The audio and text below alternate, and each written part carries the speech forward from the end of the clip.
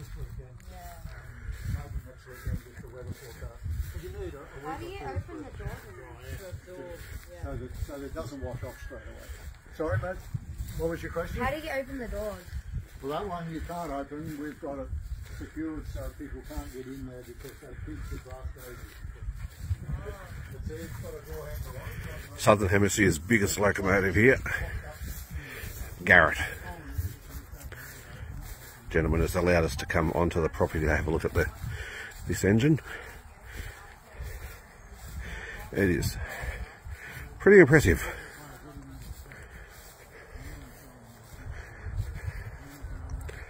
Two engines in one, 484 484 configuration.